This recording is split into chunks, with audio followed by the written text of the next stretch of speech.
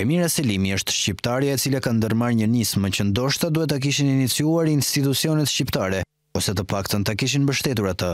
Prej disa javësh Selimi po mbledh libra shqip në të gjithë trojet shqiptare, për të hapur me to një bibliotekë në Shtëpinë e Kongresit të Alfabetit në Manastir. Shqiptarët në Manastir nuk e flasin gjuhën shqipe bukur.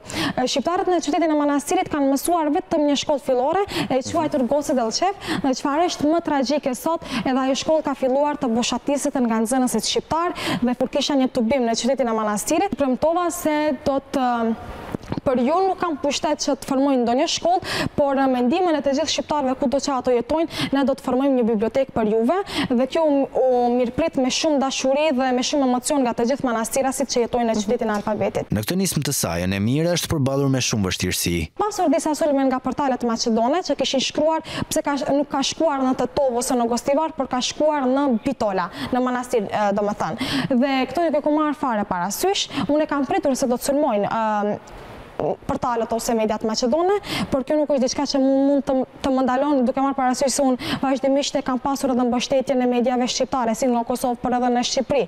Por unë them gjithmonë nga e nga e vërteta gjithmonë kanë frikë. Në qytetin dikur shqiptar të Manastirit, sot Bitola, shtëpia e Muzeut të Alfabetit është lënë jashtë vëmendjes së institucioneve, Ndërsa Emira ngre alarmin se oborri i shtëpisë është blerë nga një shtetas serb. Që një e katërta e oborrit të Muzeut të Alfabetit është pronë e një serbi që sot jeton në Beograd, i quajtur Jovan Siziq. Dhe unë nuk e di si ka mundësi një person që sot jeton në Beograd të shkojë dhe të blejë një të katërtën e oborrit të Muzeut të Alfabetit. Një muzeu, të blejë muzeu. Po, nuk e di, ai, nuk më duket e gjithë kjo rastësi, pasi që ai mund të kishte blerë ndonjë oborr në Shkup ose, por edhe në Manastir, por Si ka mundësi pikërisht në Muzeun e Alfabetit? Dhe kjo më duket një provokim që ka qenë i heshtur me vite të tëra, që e kam zbuluar, mund të them para dy javë. Për të gjithë që kontribuojnë me libra, Emira bën thirrje që t'i dorëzojnë ato në Universitetin e Tiranës, ose të Shkupit, dhe për dhuruesit ka vetëm një kusht, që librat të jenë në gjuhën shqipe.